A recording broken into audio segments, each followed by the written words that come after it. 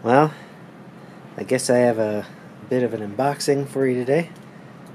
Um, I got this uh, Yaesu dual band uh, 2 meter and 70 centimeter radio. I guess I just had the uh, radio for too long, and it's it's time to get something a little different. So I'm gonna crack this puppy open and uh, see what we got going inside here.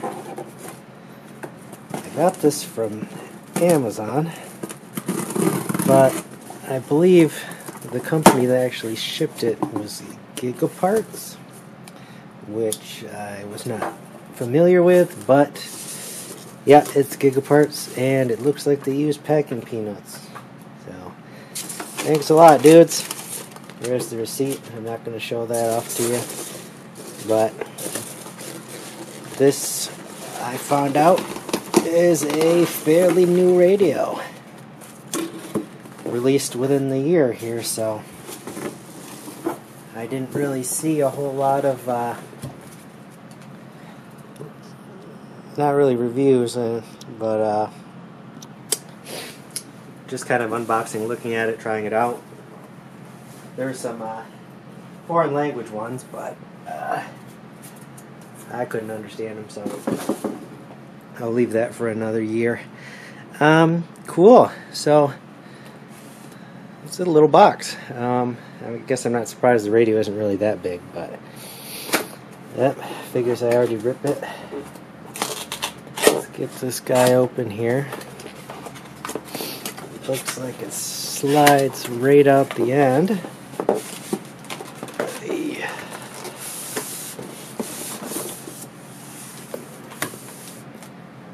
There you go. So, looks like a standard accessory pack here. You have, looks to be a, a quite long power cable. Um, we have, oh, this is a USB cable. I'm not sure if it comes with a uh,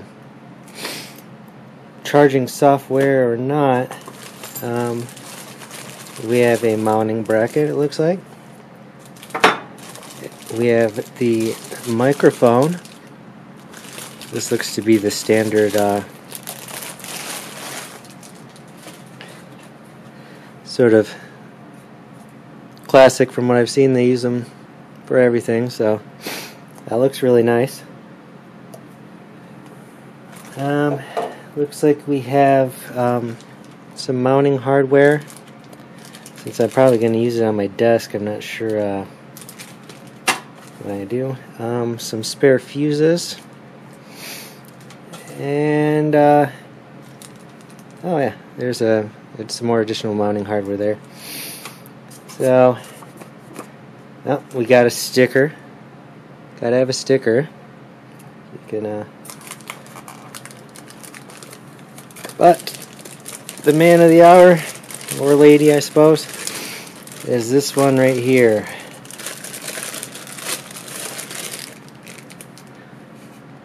That is teeny. Look at that little thing.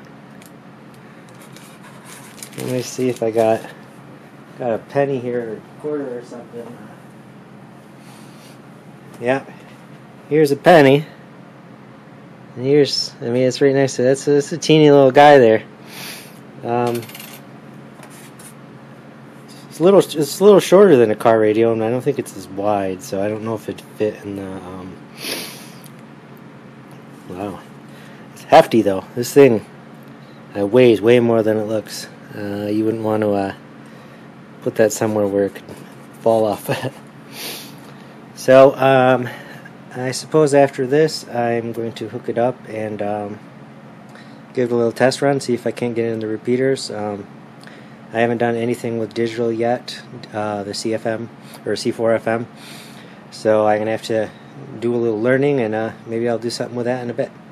So here we have the Yaesu FTM 7250D, and I was just gonna run over some uh, simple settings to uh, get it all up and running. Um, so let's say you're wanting to put in a repeater. Uh, you can just go um, punch it in the keypad if you want. So one four five two seven zero is a local repeater here. Now, um, to get into the menu, you hold this uh, megahertz setup button for a second, and there's uh, a whole bunch of different menu items in here. You just scroll through, but the ones we are interested in are let's see, where is it? There's squelch type right there. So if you click the uh, setup button again on that, it'll let you select which one you want. Um, so there's off tone, which is only transmitted tone. Uh, tone squelch, which is um, you transmit and the uh, squelch opens with the tone as well. There's DCS. Um, I believe this is reverse tone, and then there's a pager and some other features, but um, I'm going to set it to T squelch, and then I'm going to press setup again, and that sets it. Now what I want is uh, 2 over or 3 over. You got the tone frequency. So now I know that this station is 94.8. It looks like I already had that in there, but um, I believe it defaults to 100 for almost everything, so you just gotta kick it back two steps and click that setup button again. Now, if you hold the setup button, that's how you get out of the menu again, and then you're back to here. Now, if you see this this F right here, that means you're in FM mode. Now we have a mode button here, and if you click that, you can switch from the digital, FM, and uh, AMS is the uh, automatic mode, so it will figure out based on what it's hearing what it should do. Um, it's probably best to leave it at AMS because um, it's entirely possible to transmit digital right over top of someone else and not even really really know it. So um, it's best to watch out for that. Now, since I want it to just be an FM, since I know this repeater only supports that, I'll set it to that. And then uh, we should be good. Um, now that we have the repeater programmed in, um, I know I can get into this in, with 5 watts, so um, if you go and press the uh, D character on the controller, you can select low, mid or high power. So I'm just going to set that down to low and press that D key again. So that should be good. Now the last thing you want to do is I'm assuming you want to save all your repeaters in the memories. So if you you see this far right button here you have V slash M and then MW the, the memory write um, if you hold that button this little MR and then a number will flash on the right side so what you can do is you select this the station number you want that on. So I'm just going to pick one for that. And then you press this button right there again. And then it'll ask if you want to write it. I believe it, it doesn't ask that if there isn't something already there. But you, you click this again to um, confirm it.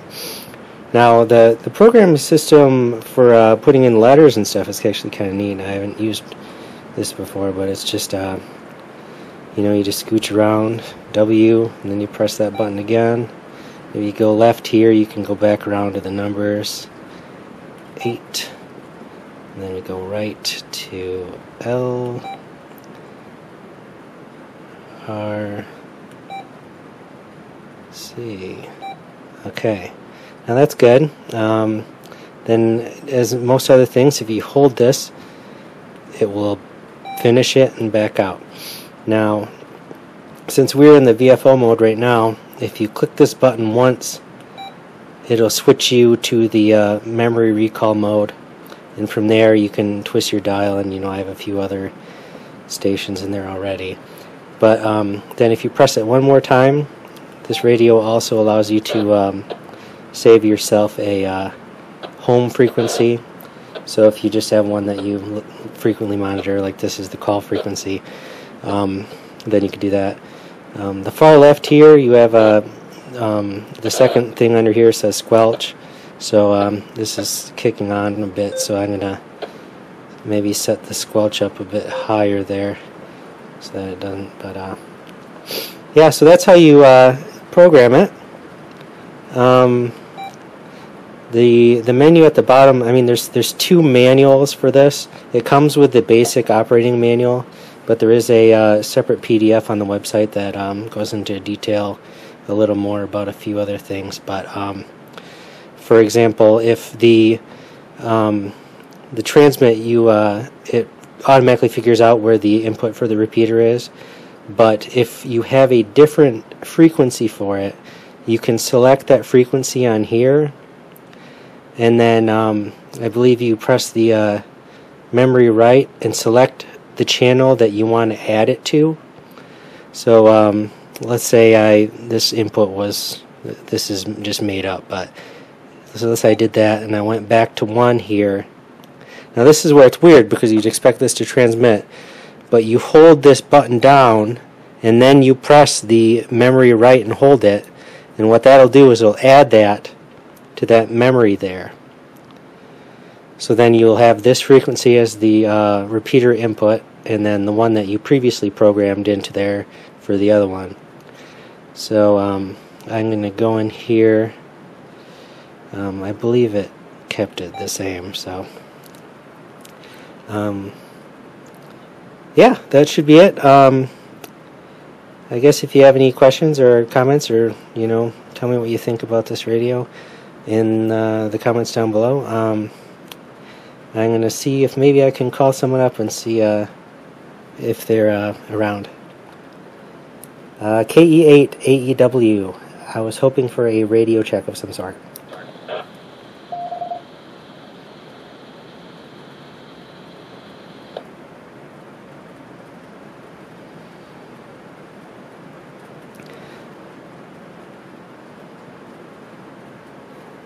Yeah, I'm guessing it's it's raining outside, and maybe everyone turned the radios off.